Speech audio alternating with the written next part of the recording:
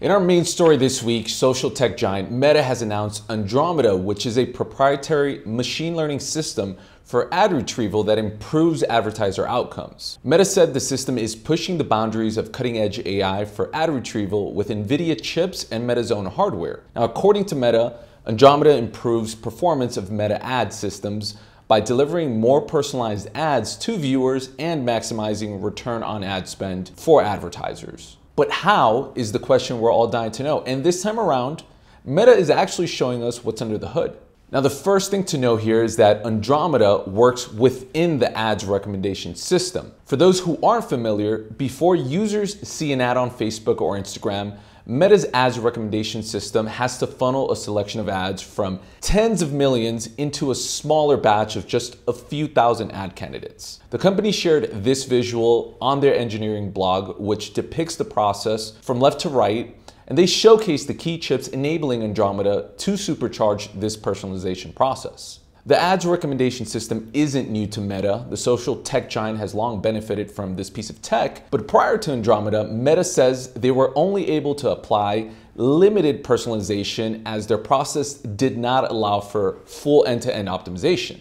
Now, in layman's terms, there were way too many ads and way too many people to efficiently resource their ads recommendation engine, and this is something that Andromeda solves. Now, taking it one technical layer deeper, and for my mad tech nerds watching, you guys are gonna appreciate this. Andromeda uses NVIDIA Grace Hopper super chips in combination with Meta training and inference accelerators. And according to Meta, their proprietary tech establishes scaling laws that allows it to better play matchmaker between user and advertiser and that scale improvement is thanks to a 10,000x increase in their model capacity, which apparently is a massive feat for their deep neural network. Meta shares that their deployment of Andromeda is already seeing improvements in advertising outcomes, with Facebook and Instagram seeing an 8% improvement in ads quality, and advertisers who previously did not leverage Advantage Plus creative capabilities, which is powered by their AI tech, have experienced a 22% increase in ROAS. Now, what I find interesting is this new newfound level of transparency at Meta, who has historically been very secretive about their ads tech. Typically, they don't say too much or go down to this level. So I turn it to you. What do you think is the goal here? Do you think this is Meta trying to better own its narrative to advertisers? And if so, do you see it working? Or is this type of transparency meant to bolster its AI first narrative to keep Wall Street bullish on its future growth?